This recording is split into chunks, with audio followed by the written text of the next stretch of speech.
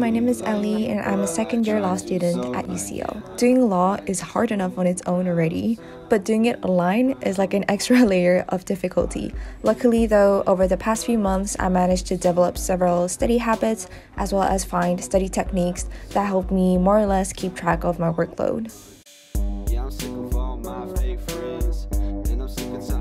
Creating a good study plan is so so so crucial and the reason why I'm saying this is because I think it is important to have a weekly plan of the various tasks and deadlines that are coming up as well as like a daily plan of the various tasks you would need to do for the day. I personally like to have that kind of visualization because it gives me an overview of the various things I'll have to do for the upcoming week. It makes me feel less stressed and feel like things are under my control which is always a good feeling when there's a lot of stuff going on. Being able to tick off the boxes and be like like, okay, I am pretty much on the track. Things are looking good. Just gives me that sense of tranquility.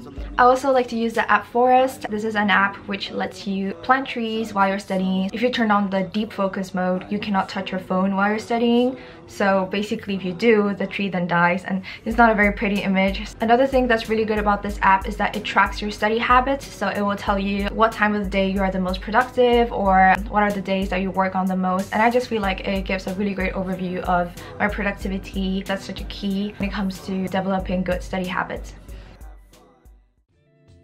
I remember in year one doing readings was kind of like a myth to me. I knew what it consisted of and I was doing it but was I doing the readings correctly? I don't really know. Even in um, year two, when we suddenly we had this increased workload with lots of readings to do, uh, I knew that I had to take on like a good strategy to approach them. So I tried to read in a smart way.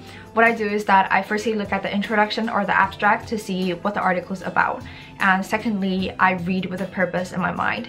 The reason why I'm saying this is sometimes lecturers will place certain articles under certain subheadings and that should give you an indication as to what you should be looking out for when you're reading that article. What can also happen is that if there's a very controversial topic, you will often have one author that argues in favor of a certain trend and another author that argues against that trend. When you're writing an essay, you'll be able to gather good arguments for both sides. Another thing that I like to do is to like skim and I think if you're a law student, you will really develop the art of skimming. Sometimes articles can be very very long and you might be looking for a very specific thing or an idea that will like give you extra points in essays.